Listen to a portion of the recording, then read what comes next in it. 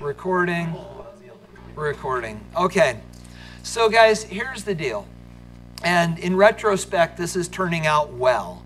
Um, because had we not had whatever we want to call Tuesday, the best day of my life, or the train wreck that that turned into, or something in between. Um, but, guys, honestly, can I tell you the coolest thing for me that came out of Tuesday's conversation was the number of you that approached me, either personally or digitally, and said, check this out. It was really cool. Matt shared a ton of really neat videos with me, and I think you were going to but didn't or something. But guys, it was it was really interesting. The number of it, it it's cool to know that you guys think about this stuff too and you think about it enough that you're actually actively pursuing it and and you're sharing with me while I'm sharing with you, which was really neat. I that was cool. So thank you. Um, but guys, with that said, regardless of where you are relative to the muckiness, literally, that is um, that is that is quantum mechanics, guys. Together, we need to understand at least this you ready? Electrons do not behave as particles. What do they do? And it's all over the place. They appear, they disappear, they reappear. They travel between spaces without crossing the intervening space. They can travel from A to B and travel through all the possible spaces in between. They, they guys, they, they can appear in every possible location at once, or they can be in none of these locations ever. So, guys, we understand that fundamentally electrons behave in ways that we don't understand. We can't predict. And guys, that is the important concept that we need to build on is this idea of unpredictability. And so the idea is that if we let go of Bohr, and if we say, okay, Heisenberg, we get it. We can't know where an electron is, and we can't know where an electron's going. And you guys remember that concept? It's not in the notes, but it is on the AP test. Should we go over it again? The Heisenberg uncertainty principle. Write it down. If you don't know it, write it down. So, guys, Heisenberg is the person that got us to finally think about the idea that electrons are not particles. And he didn't do it by saying initially electrons are not particles. What he did do is he said, if we try to study electrons like particles, we are doomed to failure. And here's why Heisenberg took Bohr's data and as he started to analyze it, what he started to understand was that every time we tried to clearly define where an electron was, we couldn't tell where it was going.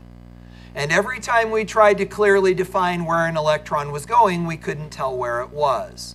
He said it this way He said that you can never know the exact position and momentum of an electron. Position is where it is, and momentum is where it's going. How much of that do I need to say again? So, Heisenberg uncertainty principle, you okay with that? And it simply says this you can never know the exact position and momentum of an electron at the same time. And it's actually interesting because what he showed was that the more exactly you knew one, the less exactly you would know the other. It was like a seesaw. If you knew position really well, you couldn't tell momentum. And if you knew momentum really well, you couldn't tell position. So, guys, you tell me, did, did is that enough of that? Is that okay? Do you have enough time to write down what you want to write down? Go ahead.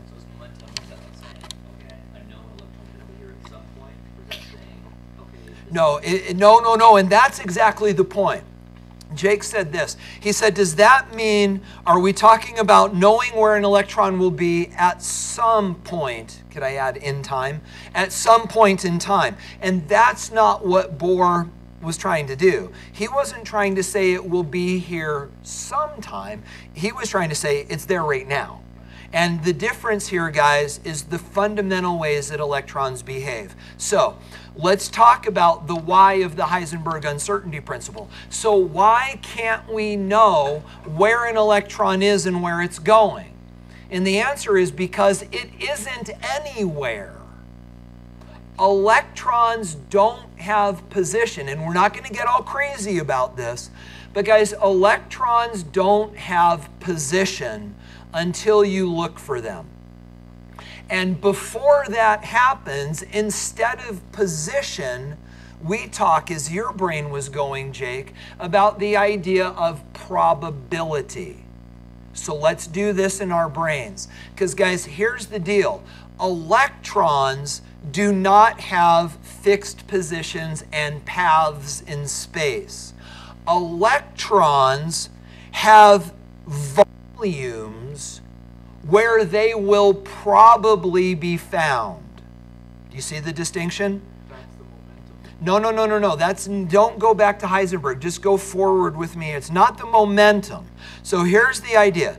Electrons do not have places and paths.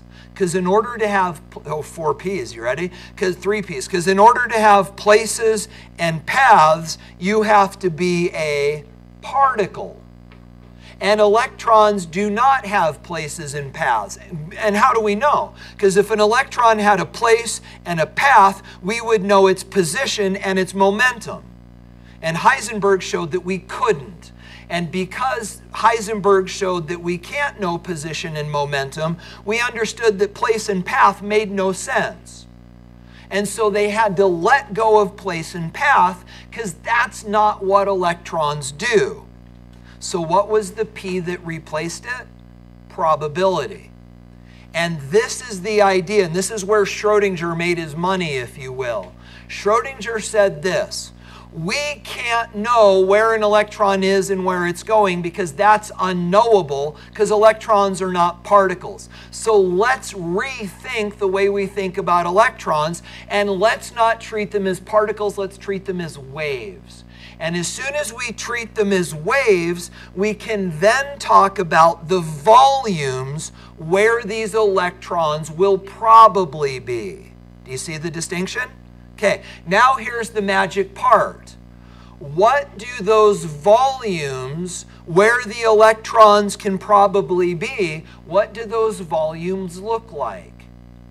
Waves. Do you see it?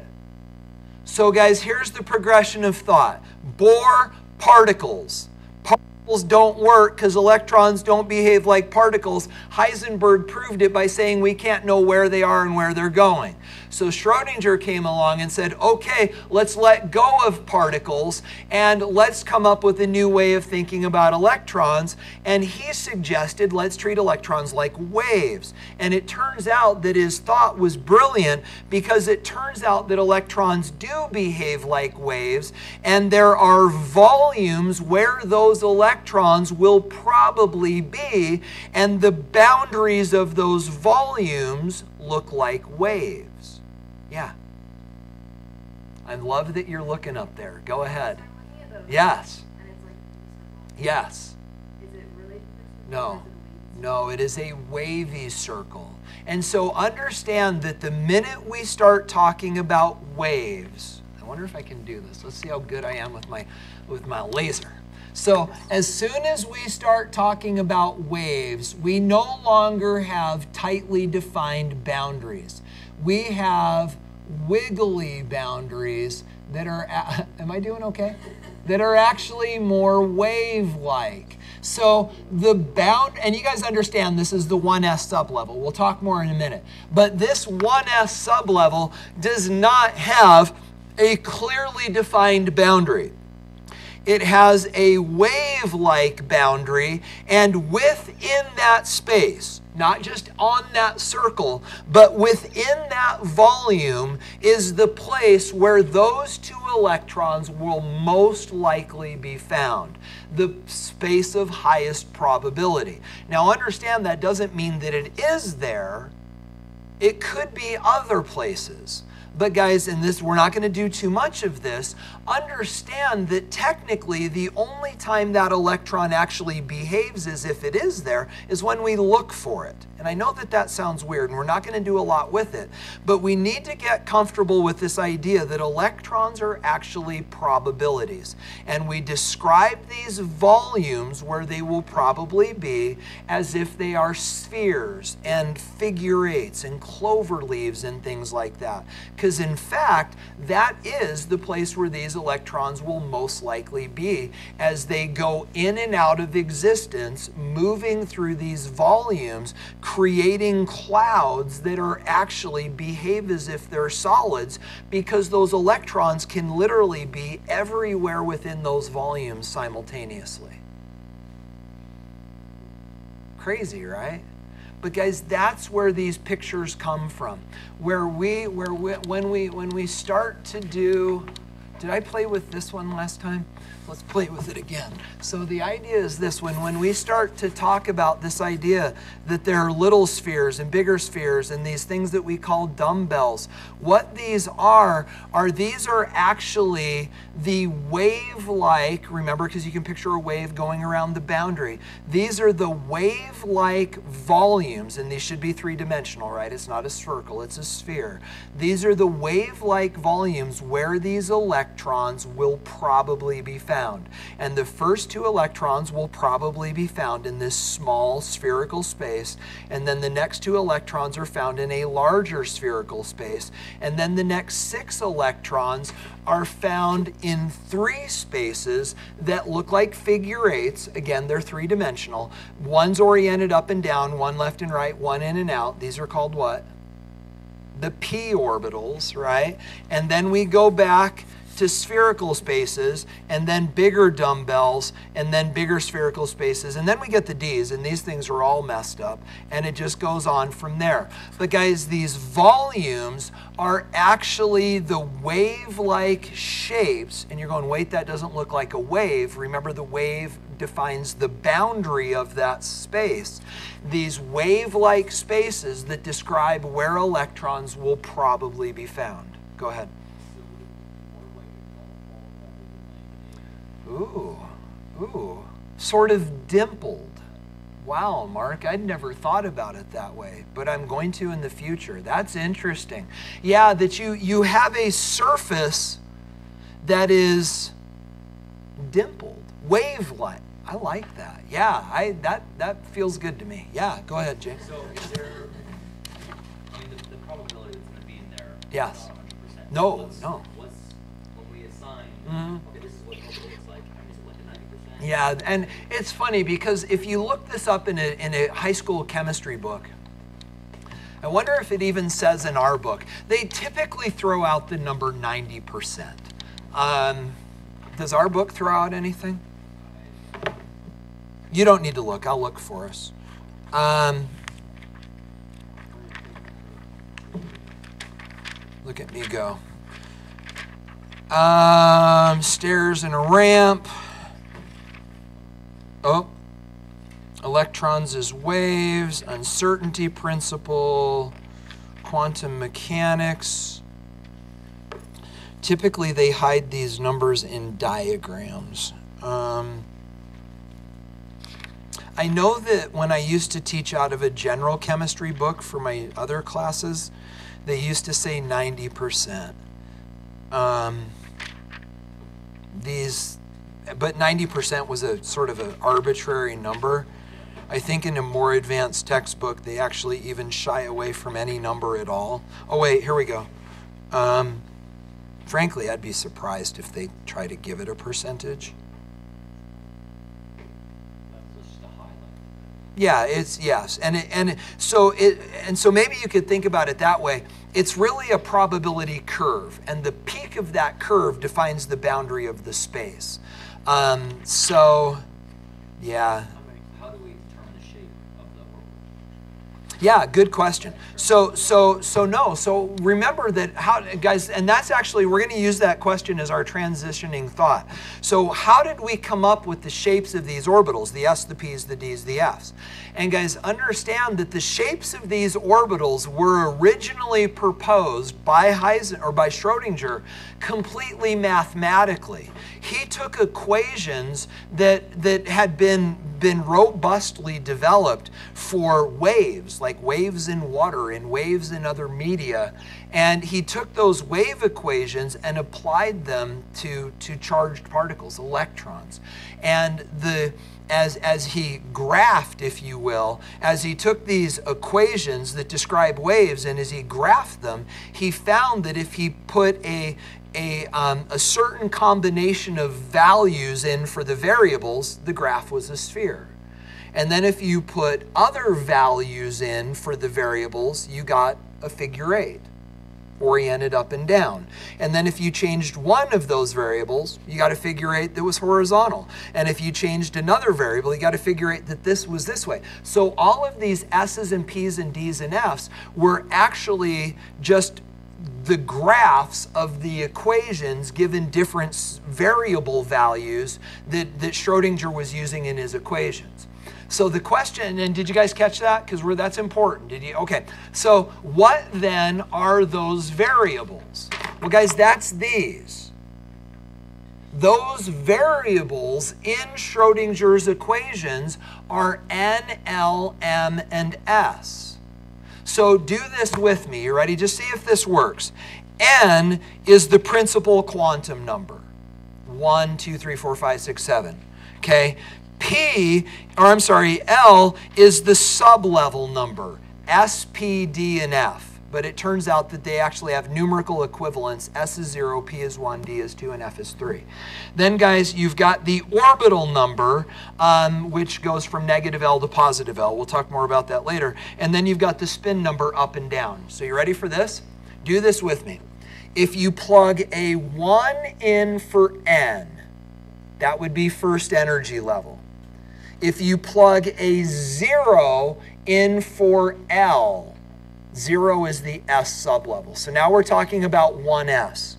Then if you plug a zero in for m, which is the orbital number, and then if you plug in plus one half or minus one half for s and graph it, guess what you get? A little ball. Now what happens if you do this? What if you put in 2 for n? Well, you're now in the second energy level. And what happens if you put in 1 for L? That's actually the P. And then what happens if you put in negative 1 for M? Well, it turns out negative 1 indicates the z-axis. And then what happens if you put in plus or minus 1 for S and graph it? You get a figure 8 that is oriented on the z-axis. And then what happens if you go 2 and 1 and 0, and then plus or minus 1 half. Then it turns this way. And then what happens if you go 2 and 1 and positive 1 and plus or minus 1 half? Then it goes which one didn't I do? I forget. But but guys, the idea here is that all of these shapes are the graphs of the wave equations using these variables to fill in the equations. So initially, all of this was mathematical, and then we were later able to do experiments that went back and, and have very richly supported what the math initially proposed. It's crazy stuff. So, guys, here's what we're going to do today. By the way, does anyone need one of these? Did you all have them? Um, make it gentle because we're about to go forward. So um, if this is, if these are just based off of mathematical models, couldn't you then, I mean, it's a wave, couldn't you then get a number, at least from your model, like about what the probability is it's going to be in that shape? Oh yeah, absolutely. Yeah, no, no, no. So okay, so we didn't answer your question. So you asked the question, what's the probability? Um, definitely yeah, and okay, so don't go here with me, but I'm gonna I'm gonna give you a reference to look at, and then you can uh, go here at your leisure. Um,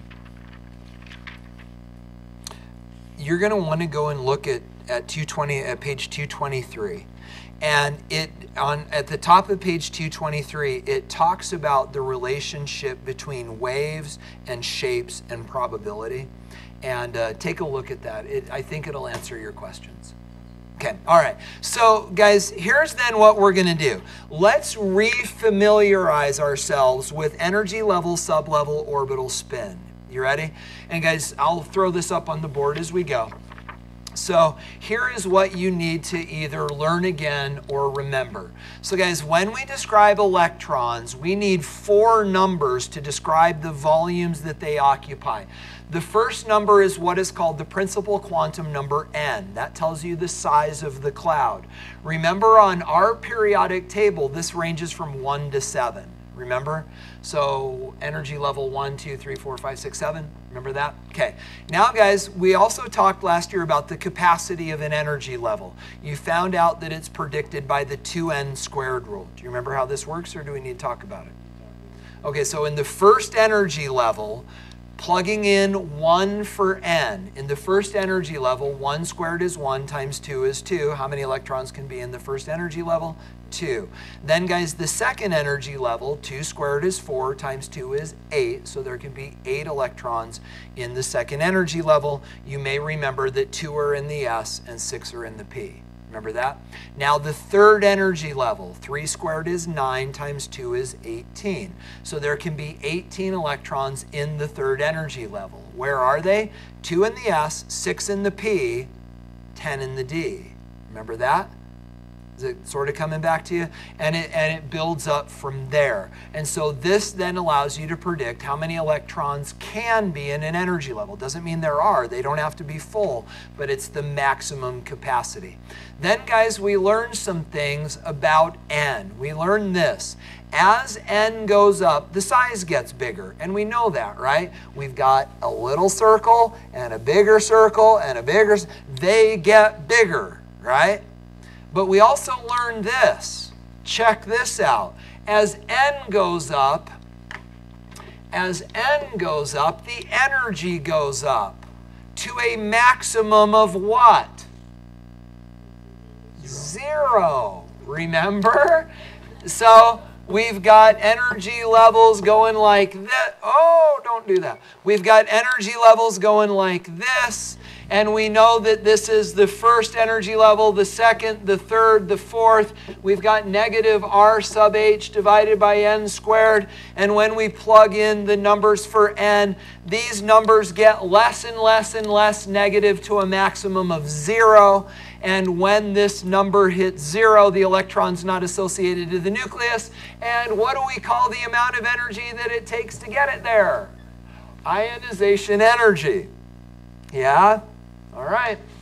And then, guys, we also know that the capacity increases, and that's the 2n squared rule. You good on that? Okay. Now, guys, here's the trick. This is everything that Bohr knew.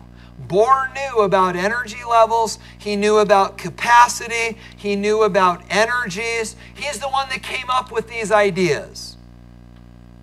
And it doesn't make it wrong, it just makes it incomplete. So, guys, all of this stuff is the Bohr model of the atom. But if you leave it there, then your atoms have got to be spherical. You, I'm sorry, your energy levels have got to be spherical.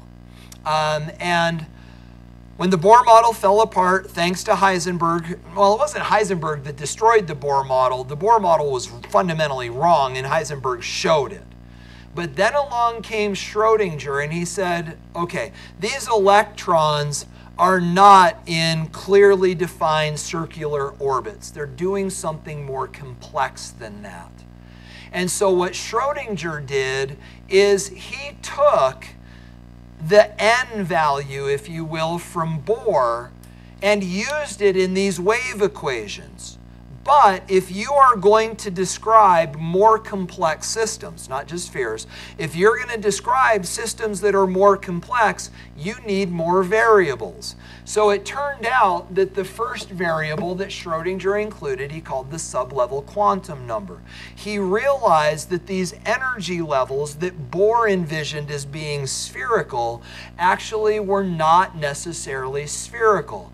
They had different shapes. Understand that they were also probabilities and not paths, but these areas of probability have different shapes, and he used a variable to describe these shapes the sublevel quantum number.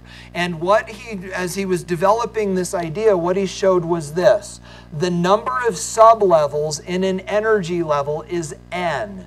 Do you remember what that means? Okay, so let's talk about it. How many energy levels do we have?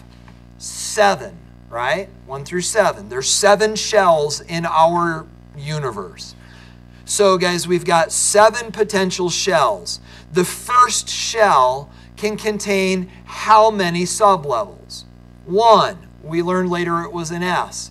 The second energy level can contain how many sublevels? Two, S and P. The third energy level can have three, SPD. The fourth can have four, SPDF. How many sublevels can the fifth energy level have? Five, S, P, D, F. What's the fifth one? They actually say that they will, they, they have ident, they call it the G sublevel.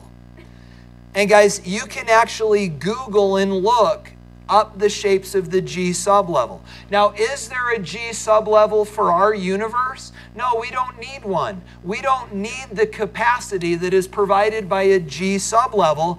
But guys, we can show you what they look like because it's just math. We can plug in 5 for L and graph it. So you can actually look up the theoretical shapes for the G sublevel.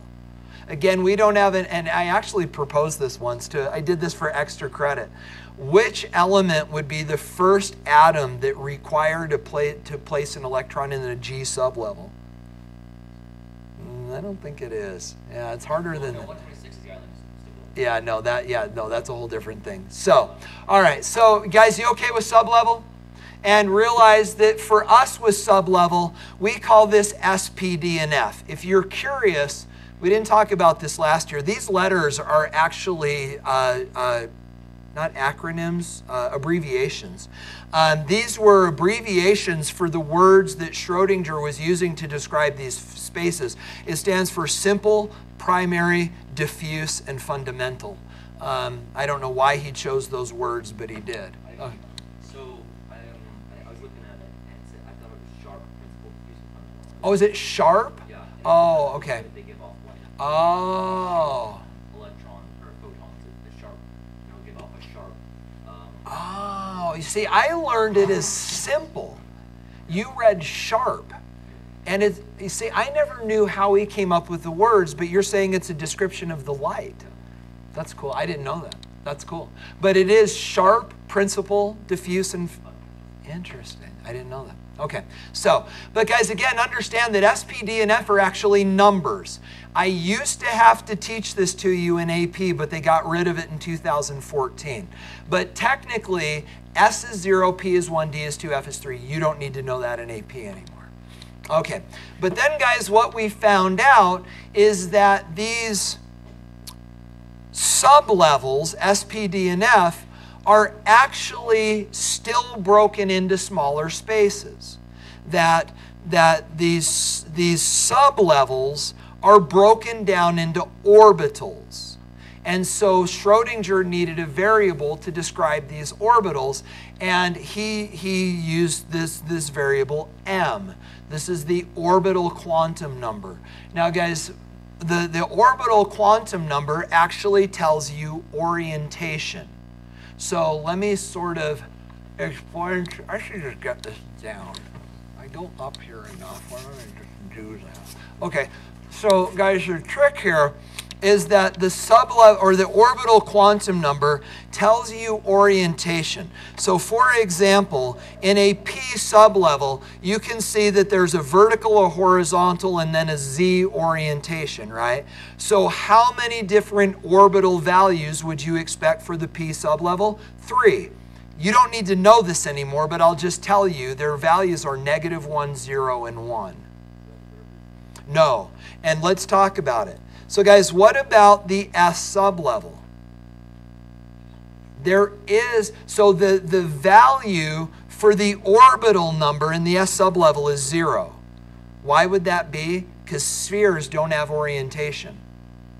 Spheres don't have up, down, left, and right. They're kind of spheres.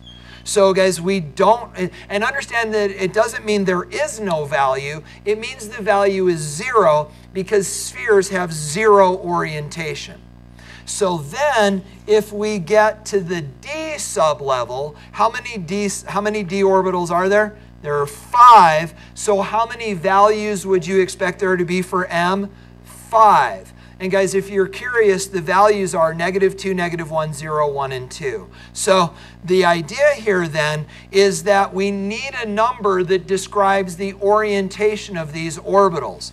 That number, called the orbital quantum number, allows you to distinguish between up, down, left, and right if it's the p's, and so on. So from there, then, we understand that practically, what each one of these orbitals is, is a space that two electrons can occupy. But then, guys, we get into this problem. Electrons are negative, right? And so we just said that in an orbital, two electrons pair up. How can that be? They're spins. So I know that you have at least heard of this, but let's talk about it. So, guys, the idea is this to understand spin, think about electrons like little Earths. And the Earth has a north pole and the Earth has a south pole, right? So do electrons. Electrons are polar. They not only have an electrical component, they have a magnetic component, electromagnetism. They have a magnetic component. And it turns out that when two electrons pair up, one of them will actually flip over so that they are oriented north pole to south pole so that they it, it, creates a partial attraction that overcomes the repulsion between the electrons. So we can't see electrons, right? So how do we know that these electrons are organized are, are orienting in this fashion? And here's how here's how you know. Uh, oh boy. Electrons spin. Electrons spin. And they all and, and, and so the trick is is that if an I'm gonna hurt myself. If an electron flips over, so is that right? I think it's right. So does its or so does the direction of its spin. And so, guys, it turns out that we can tell which direction the north pole of an electron is pointing because when things with charge spin, they create current. And if an electron is north pole up, it'll create a current that flows in one direction. And if it's north pole down, it creates a current that flows in another direction. And if we stick electrons in magnetic fields, we can actually detect which way their north poles are pointing because we can detect which way they're spinning. And that's why we call it spin. Spin is actually a word that we give to describe the fact that electrons, when they pair up, orient with opposite excuse me, orient with opposite poles. Get the idea? Okay. And then, guys, relative to numbers, um, Schrodinger gave these things the values for plus one half or minus one half. Now, guys, this is where things get a little, a little funky because we say up and down. We say spin up is plus one half and spin down is minus one half. You understand that's stupid, right? In the world of the subatomic, there is no point of reference around which we can say this is up and this is down. It's an electron, right? You don't, because when we say up and down, we talk about relative to the Earth. So that's up and this is down, but that's because we've got this big old rock we're floating around on, and we define that as down going towards the earth. Guys, in an atom, there is no frame of reference for up and down. So we arbitrarily say up and down, but what we're really saying is opposite. You get the idea? Okay. All right. So, guys, there you have it. Here's all this quantum craziness that Schrodinger brought in to the equation, if you will. So, how does that then change the way that we understand what electrons look like, if you will? Guys, don't try to write this down, just enjoy.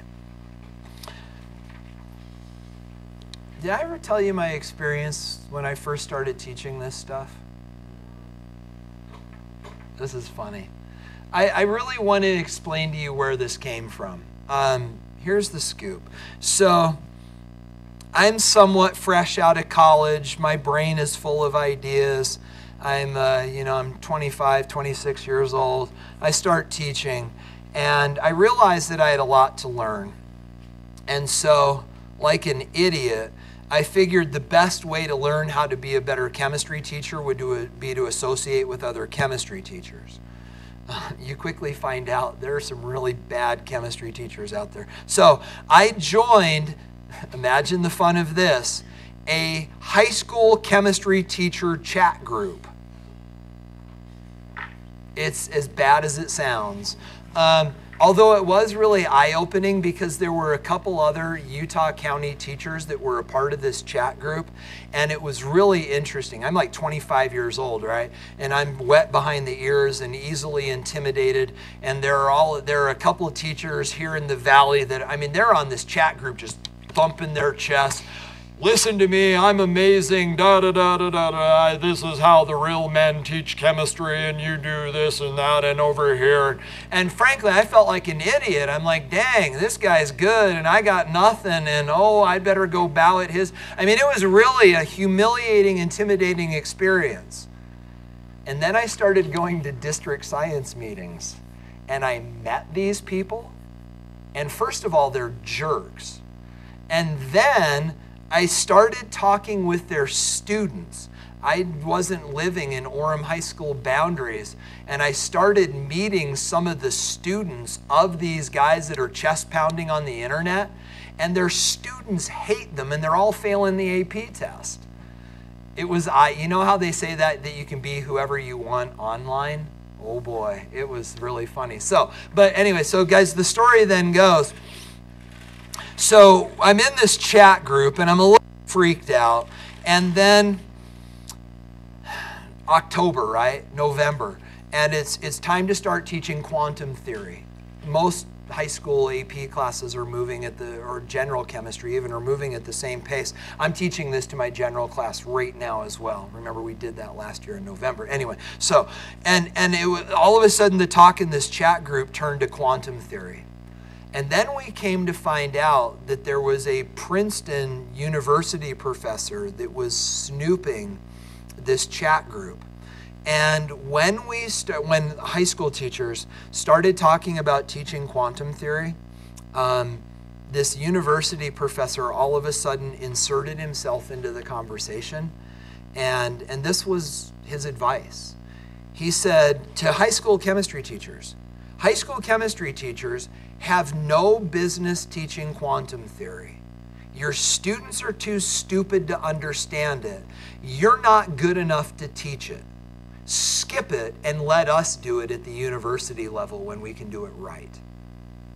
Don't ever tell me what I can't do. I got pissed. I, I wanted to like buy a ticket to Princeton and go beat this guy. I'm like, bring it on, buddy. Uh-uh, don't ever tell me what I can't do. And uh, guys, it fired me up. I'm like, it's game on. Not only am I going to figure out how to teach this stuff, I'm going to teach this in a way that my kids are going to understand it. And uh, that's what led to this. So if you had me last year, you've seen this before. If you didn't and had Miss Call, I know that you've seen this because we were teaching very tightly together. If you had Mr. Hart, I frankly don't know if you've seen this because Hart was real distracted with bunches of other things. Not that that made him a bad chemistry teacher. I just didn't have the chance to collaborate with him as closely, so he may not have done this. But guys, here's what we're going to do. You ready? This is cool. We are going to take this and we're going to turn it into this. You ready? Here's how this goes. So, guys, here we've got down here at the bottom the nucleus of an atom. Now, in addition to that, what we've got is we've got these rungs of the ladder. Now, guys, what do the rungs of this ladder represent? The answer is the energy levels. And so what we do is we understand that these energy levels are numbered by the, the number n. But then, guys, moving left to right across the paper, we've got L, which you understand to be the sublevel number, S, P, D, and F. And then we've got M, which is the orbital number, which describes the spaces that two electrons actually occupy.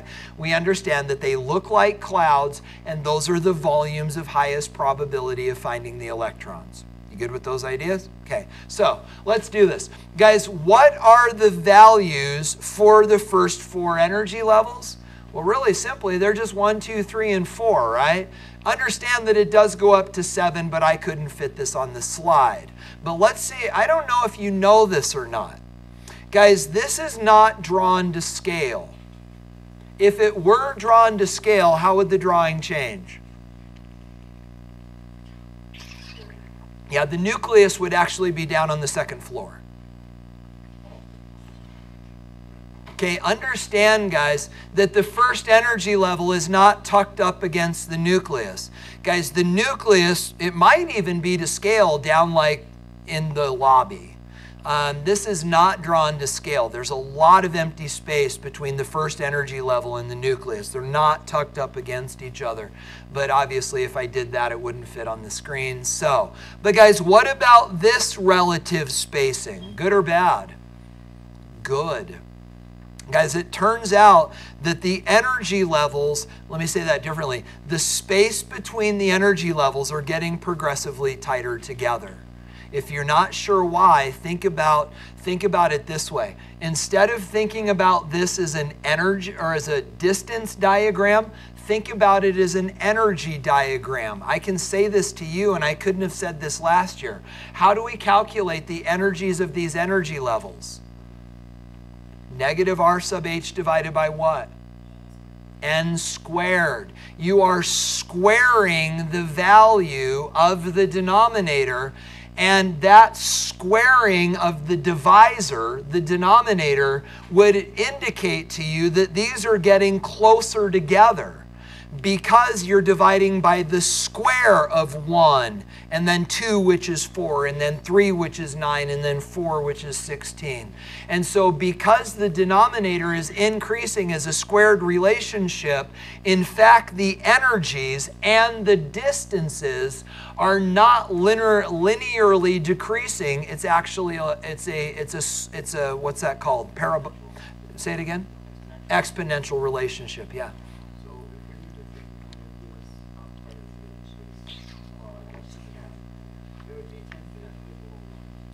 It would what? If we're thinking about this mathematically, yes. n equals zero, dividing by zero. No, no, no, no, no. So, so understand that n equals zeros up here. Wait, no, let me say that. Oh, wait, wait, hold on. No, no, no. I'm sorry. E equals zero is up here when n goes to infinity. n doesn't go to zero. There is no zero energy level. We like to call it the middle. No, but seriously, that's true. Because remember, when we're talking about energy levels, we're talking about electrons. And the nucleus is not an electron possessing thing. So the nucleus is our is our point of reference, and these numbers represent energies relative to the nucleus, but that doesn't mean we need to assign a number to the nucleus because the nucleus is not an electron possessing object. It is simply the middle of the atom about which we define these energies. So it's our zero point, but that doesn't mean that n is zero. Is that okay? It's really just I'm I'm scrambling. I'm I'm fear to say this out loud because this could be horrible. But I'm going to do it anyway. What let's try this and if it fails it fails. But what if what if you think about it in terms of gravity? Because these are potential energies, right? What if you think about it in terms of gravity? Well, the reason that that we have some potential energy here, but more potential energy here is because it's relative to the earth. But when we when we quantify how much energy this book has, we do it based upon a measurement. We're a meter above the ground, which is analogous with some amount of potential energy. Now we're two meters above the ground, which is analogous to some amount of energy. So this would be one meter elevation, this would be two meter elevation.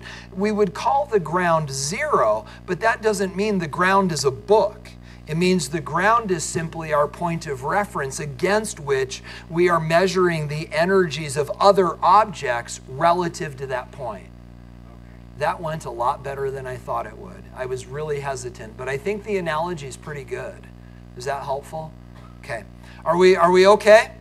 All right. So now guys, check this out. We are now given what we've got going to populate this entire page. So, guys, first thing we're going to do, and you understand these are the rungs of the ladder. Do you understand, though, that this is actually a core sample out of an atom? I'll draw this in quickly. But what we're actually looking at is like the first, the second, the third, and the fourth energy levels, right? And they're actually three dimensional spheres. Okay. All right, so guys, with that said, let's first of all figure out how many electrons can be in these energy levels. So, what equation predicts their capacities? 2n squared. So, this would be, oh, hold on, I'm not in clicky mode. This would be 2, 4, I'm sorry, 8, 18, and 32. 2n squared rule? Okay, so now, guys, let's do this. Let's go from energy levels to sublevels. So, how many sublevels can be in an energy level? N. The first energy level has one. What is it? S. Second, two. S and P. Third is three. S, P, D, and so on, right? Okay. Chemistry cheerleader. Ready? Okay. All right. Okay. So, I can't believe I just did that publicly. For some of you, you may never be able to get that out of your mind. Um, Sorry. Okay, so guys. Oh, it's on the. Screencast. Okay, so guys, back back then to this. So, first energy level, how many sublevels? One. What is? Hold on, guys. What is it? It's an S. So, guys, we are going to represent that for now with a line, and this is the idea. This is the first energy level, and it only contains one sublevel, and it is an S sublevel. So we think about it this way, which is weird. The first energy level, if you will, is broken into one sublevel, and it is an S sublevel.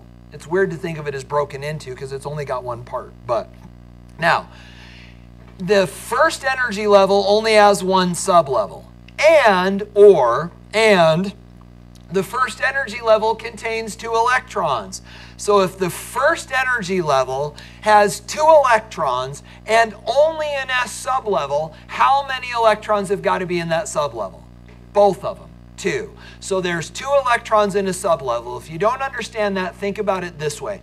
If you've got a neighborhood, and it's like in Lehi where they're building neighborhoods like crazy. So they come out and they define here's the neighborhood and let's say we're going to build two houses in that neighborhood.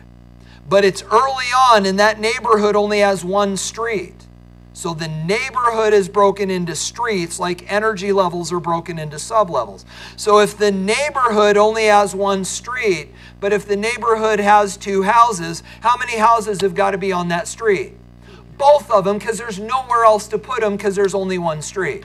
Now, guys, similarly here, if you've got an energy level that only contains one sublevel, the neighborhood and the street, if there's two house, if there's two electrons like houses in that energy level, they both got to be on the same street. Get it? Okay, now let's go to orbitals. Guys, how many electrons can go in an orbital? Two. What is true of those two electrons? Opposite spins. So, how many orbitals does it take to house those two electrons? One. So this then is the complete logic. You ready?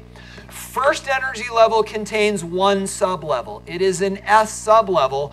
That S sublevel contains one orbital because that is all that's necessary to house two electrons. And then we can talk a little bit more about this and understand that this S orbital is actually spherical, which you learned last year. Now, moving on, realize, guys, that when we move then to the second energy level, the second energy level has how many sublevels? Two. What are they? S and P. But now, guys, thinking about energy, because you can do that and you couldn't do that last year, it turns out that the 2S has lower energy than the 2P. It turns out that it's not significantly less, but it is a little less. That's why the 2s fills before the 2p. Now, we've already established that there's two electrons in the s. So if there's two electrons in the s, how many have got to be in the p? Uh, it's got to be a total of eight. If two of the eight are here, how many are left for here? Six. Now, we've already established that an S enter, or sublevel needs one orbital to hold its two electrons. So, as we would expect, the 2s sublevel contains one orbital, because that's all we need to hold two electrons, and it's a sphere. Now, guys, how is the 2s orbital different than the 1s orbital? The 2s is bigger. Now, let's talk about the orbitals in the p. How many p orbitals did there have to be? Why three? Because each holds two, and we've got to have room for six. But it turns out that these p orbitals are not spherical. They are, oh gosh, I'm, I'm doing super clicks. So guys, these are not spherical. They are actually figure eight or dumbbell shaped. But now we understand, guys, that these three p orbitals are not separated. They are all gathered around the same nucleus. We've drawn them separated here for clarity, but, guys, just like this, they are actually gathered around the same nucleus. So, now what have we got? Well, now we have a growingly complex system where we've got two electrons in a relatively low energy spherical 1s space. Then we've got the next two electrons in a larger higher energy spherical 2s space. And then we've got six electrons in these dumbbell shaped p orbital spaces. Now, guys, we understand that the s and p are not the same shape, but how are the 2s and 2p orbitals similar? Energy. They have approximately the same energy. Not exactly. The 2s is a little bit lower energy than the 2p, but they're close. So, what does this look like when we bring it all together? Well, we've got 2, 4, 6, 8, 10 electrons. That would make this neon. So, what does neon look like? Guys, neon looks like this. So, help us understand what we're looking at. Right. So, guys, first of all, and understand this is artistic. There's all these. No, but I can't. What does that space represent? The 1s. Talk to me then about this bigger space. 2s, and then we've got the two P's. And guys, the one thing I do really like about this drawing is why is it that the 2P is a little bit bigger than the 2S? Because it's slightly higher energy. Not high enough for it to describe a new energy level, but it is slightly higher energy and therefore bigger than the other. And now we've got the 1S, the 2S, the 2P, all located around the same neon nucleus. And guys, this is a pretty good representation of what a neon atom looks like. Now, before we do questions, let's make sure we're clear on this. Does that mean that these electrons are actually moving through these spaces? No, these are simply the places where we are most likely going to find those electrons, but because they're moving freely throughout these spaces, these spaces don't behave as if they are clouds they actually behave as if they are solid, very real things, and that's what makes us solid. Because these regions of probability, when you bring them together, create things that appear to be solid because they're, they're, they're the boundaries of where those electrons are most probably found. Go ahead. Yes. So, um, I, I understand that electrons don't travel in paths, Yes. but they have like a wavelength that like completes in a circle, right? Oh, well, if it's an S, if it's a P, it, it completes in a figure eight.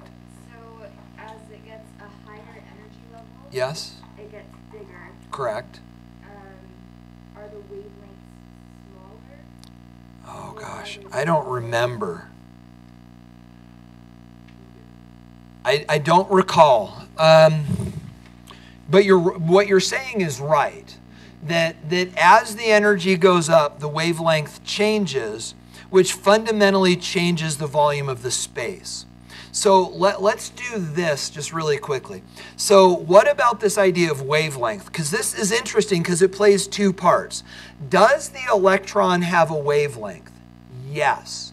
And that wavelength is associated with its energy.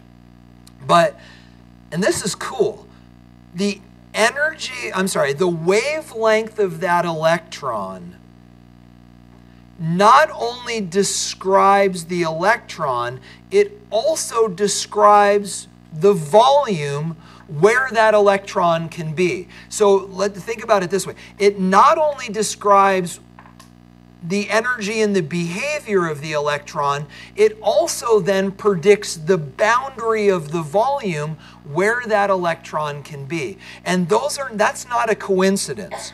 That the boundaries are defined by the wavelength of the electron. And those, you're right that those wavelengths change, but, but it provides both functions. The wavelength describes the electron and also describes where the electron can be. Now, whether those wavelengths, I don't remember, whether they get longer, I think they get shorter. Excuse me. I think they get shorter, but don't quote me on that. But it does change. Is that okay? Isn't that crazy? Um, just a second. Go ahead, Brad.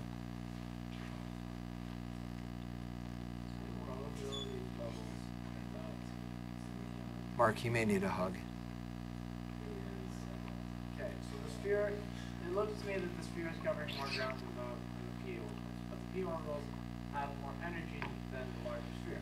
Okay, so so when you say field doesn't reflect on how much energy. The volume of the probability field does not reflect on how much energy the orbitals have.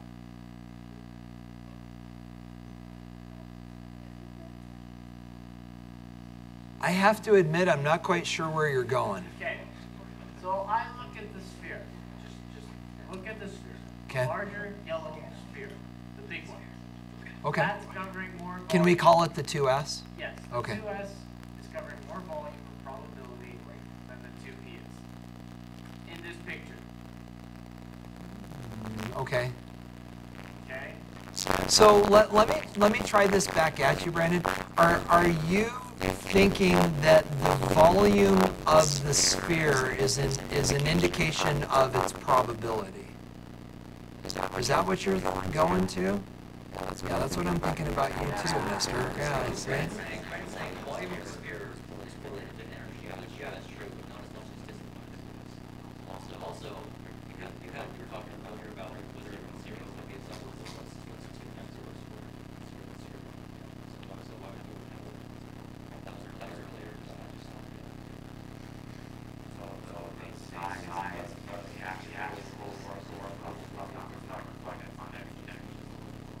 That's, that's, yes, that's true.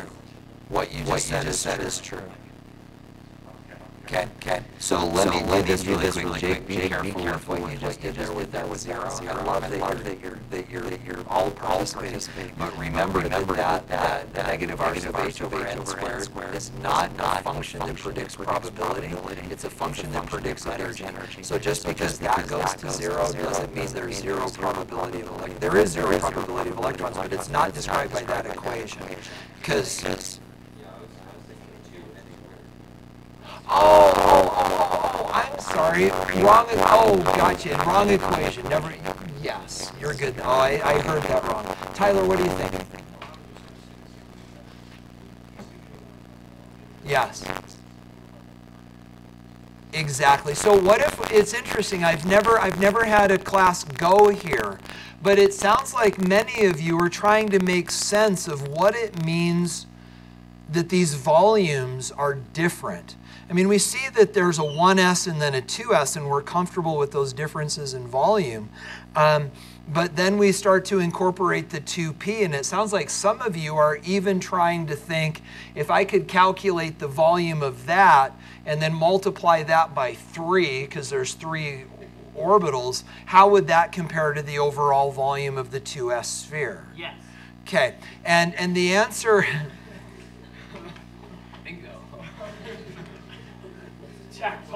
it's sobering to think I'm now thinking on Brandon's wavelengths. Um, so, no, it's I love it. I love it. I love it. So, guys, here here's the here's the deal. Um, there's nothing to be learned from that. There there is not an important underlying mystery about about these relative volumes of three times the p bigger than the s or smaller than the s or whatever. But we will say this that as these atoms get more and more complex, forgive me for saying it this way, but they'd really like more volume, right? Because what do these electrons do to each other? They interfere with each other. So, guys, understand that, yeah, these are pretty little dots on the screen, but in a very real way, these electrons are all influencing each other. And the 1s's are pushing on the 2s's, and the 2s's are pushing on the 2p's. And what, what we're really also experiencing here is a resolution of tension that the when if, if a 1s and a 2s get too close then there's going to be an increase in energy because of the repulsion that exists between those electrons.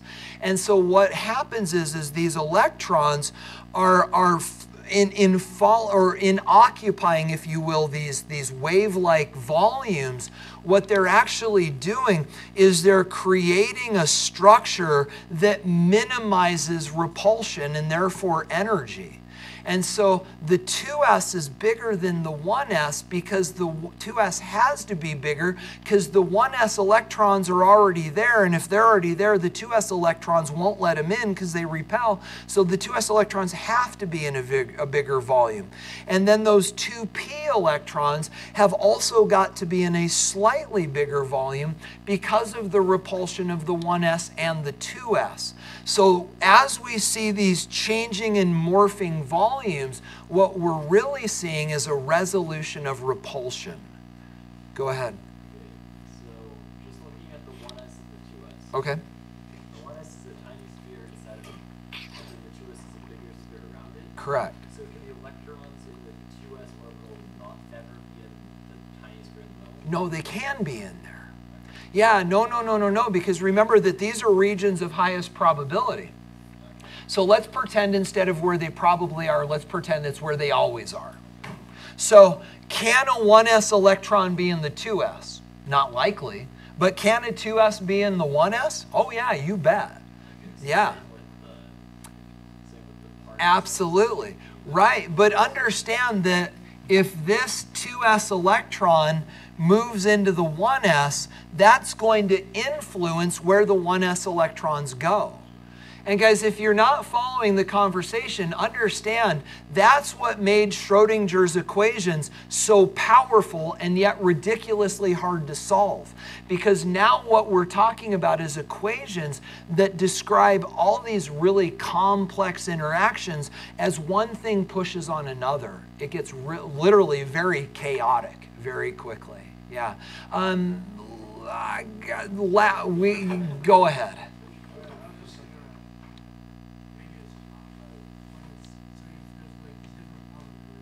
Yes. That's a good term, probability field. Yeah. Yeah.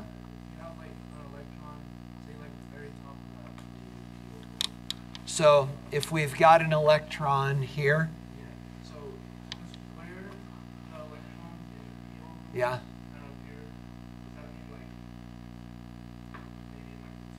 Mm-hmm. Yes, yes. So we, we could say it this way. The immediate location of an electron in the 1s limits the probability of where electrons can be in I'm sorry let's say you said 2p so the the immediate location of an electron in the 2p limits the probability of where the electrons can be in the 2s yeah they absolutely influence each other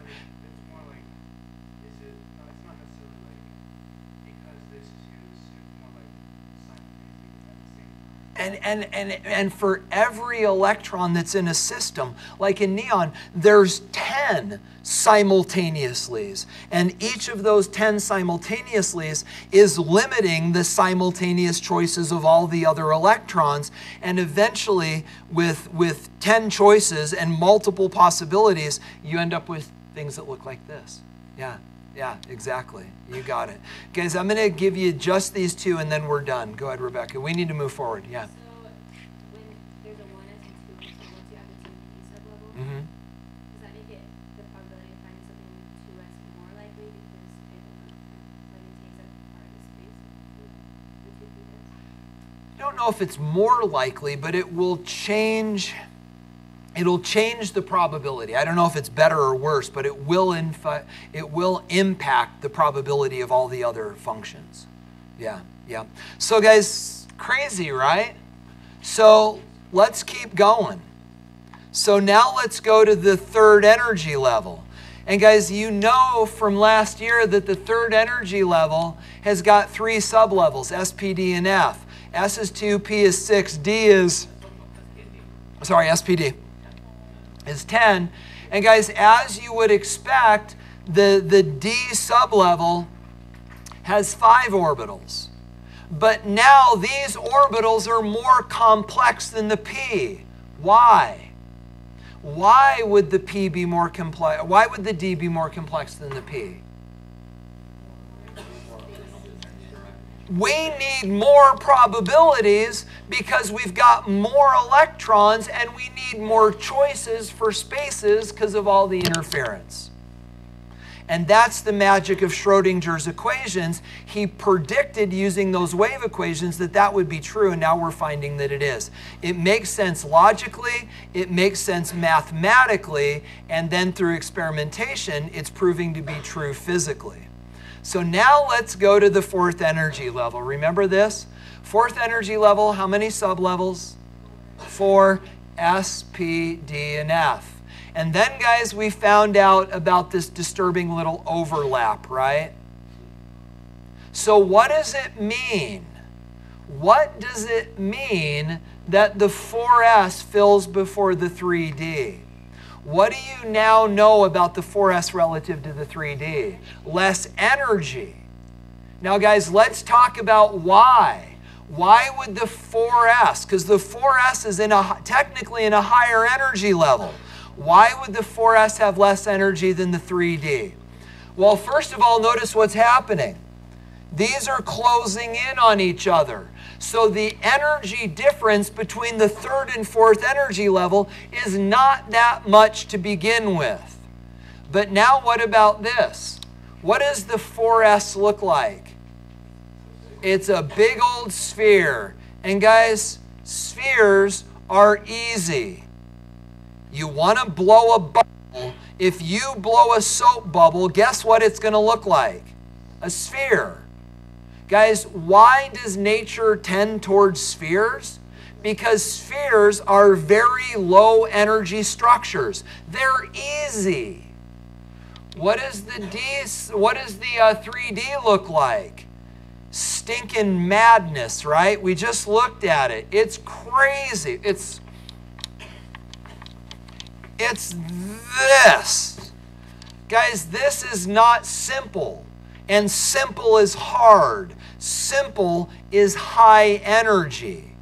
And so it turns out that actually a large sphere is lower energy than these D's because these D's are all mooky mucked up and they've got all these crazy shapes. And because, thank you, Gibbs, things always happen that are the easiest, it's easier for electrons to occupy the 4s than the 3D, and that fills first. And then it goes on from there, and we've got the P's and the D's and the F's. And the F's, I don't even know if I've got the F's in here. Uh, I don't, but they're a mess.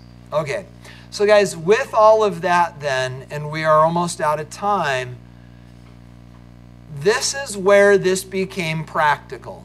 Because you may remember then that we had this magic moment. And we learned that we now have some understandings. That the S sublevel has 2, the P is 6, the D is 10, and the F is 14 electrons.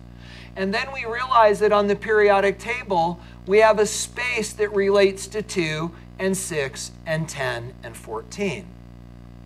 And we realize that the periodic table is structured after this very pattern.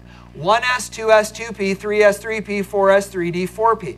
This is the structure that the periodic table is put together. Now, when Mendeleev put the periodic table together in the 1840s, did he know 1s, 2s, 2p? Amazing coincidence? No. How did Mendeleev put the periodic table together? The way they react. Guys, doesn't that make sense? What determines the way elements react? their electrons. And when you put elements together in rows based upon their electron structures, that naturally follows 1s, 2s, 2p, 3s, 3p, because it's those very same electrons in these sublevels that determine the way the elements react. Isn't that cool? And so, guys, what we found out then is that this order, 1s, 2s, 2p, and so on, is on the periodic table. You've got 1s, 2s, 2p, 3s, 3p, 4s, 3d, 4p, 5s, 4d, 5p, 6s, 5d, 4f, and so on. And we were from that able to figure out the electron structures for atoms. Now, guys, um, I wasn't planning on spending more time on that with you, although I will warn you about this. When you add or remove electrons to make ions, where do those electrons come from or go into? the highest S&P sublevels. Do you remember that? Should we do one of these really quickly? Okay, so guys, this is the idea. You can flip that paper over if you'd like an example. So guys, let's do this. Let's do copper because it just came to my mind. So guys, what is the electron structure of copper? Um, yeah, let's, no. I don't want to do copper. I want to do, no.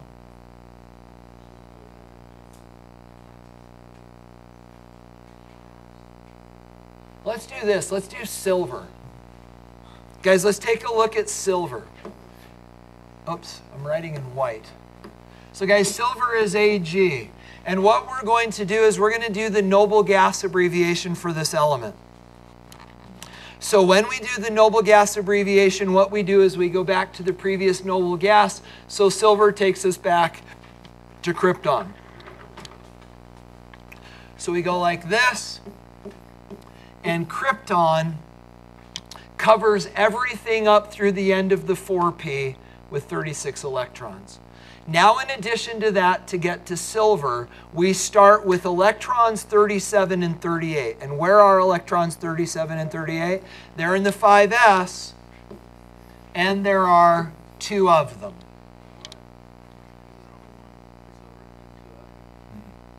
We'll talk. Then, guys, when we continue to silver, we're now in the D, but it's not the 5D, it's the 4D. And we go 1, 2, 3, 4, 5, 6, 7, 8, 9. So this is 4D9. 49. 49. So, um, so this would be, I'm ignoring questions, just listen. Guys, this would be the electron structure of silver. Now let's do this. What if we want to give this silver a negative one charge? No, you can't. Because, guys, the electrons can only go into or out of the highest S and or P sublevel. What's the name we give those? Valence electrons. You can't mess around with the D sublevel. So now let's talk about why.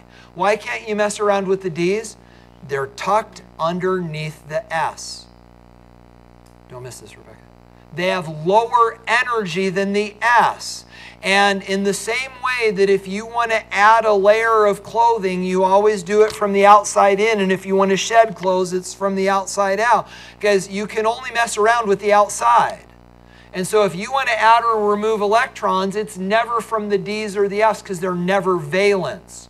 So if you want to add an electron to silver, where does it go? You can't. Now, what if you want to take away an electron and make it silver plus one? What do you do? Where do you take the electron from? The S, so we would take that away and it would become 5s1. I'm still ignoring questions, knock it off. It's 5s1 4d9. You get the idea? Does that make sense? You're okay? And that, yeah, so if we wanted to do silver plus one, we would do this. We would take away one electron from here, and, and this would be silver plus one, okay? Now, guys, what about this? What if we wanted to go silver plus two? So if we wanted to go silver plus two, what do we do? Take away how many electrons? Two. Where do we take them away from? The S. And so we would get rid of these. And guys, if you do that, you could put 5s0, you could put 5s blank, just don't erase the 5s. Okay? You okay with that? Okay, now let's talk about all you that are raising your hands, Mr. Smarty Pantses. No, I'm going to lead. Guys, look at, look at silver on the periodic table. Oh, you can't. If you have a good, if you have our other periodic table, guys, we've got some problems. If you look at silver on the periodic table, there's a little number above silver that tells you the charges it can take on, and the only number there is one. Guys, silver can only go plus one. Silver cannot go plus two. And now you're going, why? It's got two valence electrons. Why can't we take them both? Well, guys, the answer is this silver does not have two valence electrons, it only has one. And here's what happens.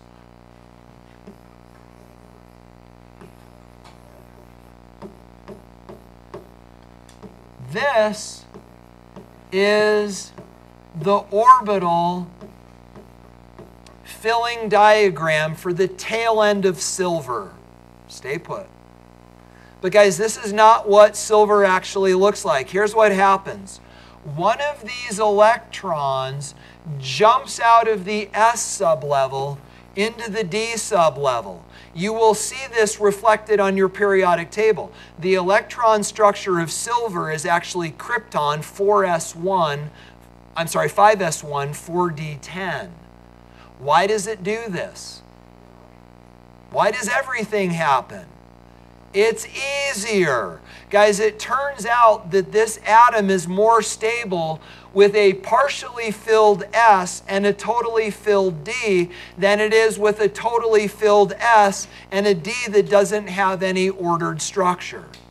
So, guys, silver actually loses an electron from the S into the D, and that explains why silver can only be plus one. So now you're saying to yourself, how on earth am I supposed to remember that? If you are only going to give me this periodic table, how am I supposed to know that? And guys, the answer is you're not. You need to know the electron structures by the trends. Doesn't mean they can't ask you, why can silver only go plus one? Because you can think your way through it.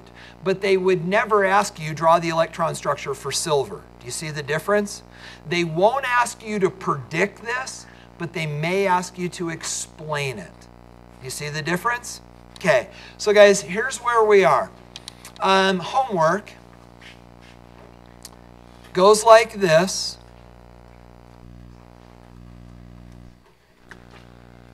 Here's your homework. And guys, we are going to grade this on Monday, and we're going to do PES on Monday, and your test will be on Wednesday. Now, guys, relative to pride, we are basing pride on first quarter's grades, which are solidified, and there's nothing we can do. So, guys, I hope that I was able to reach out to a couple students that I need to talk to during Pride. So, you're free to go. Um, when you've got this written down, take care, have a good weekend. Yeah. Oh, yeah, guys, do you want, should I just give them to you next week? Okay, I'll, oh, wait a sec. Actually, no, I'm going to give them to you Tuesday because we need to talk. Monday, we need to talk. Have a good weekend, you guys.